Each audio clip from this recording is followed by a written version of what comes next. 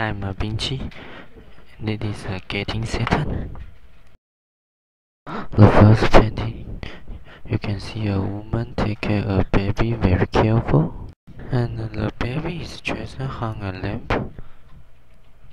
This is a old man and a young girl hanging of children. Thank you for listening. Thank you.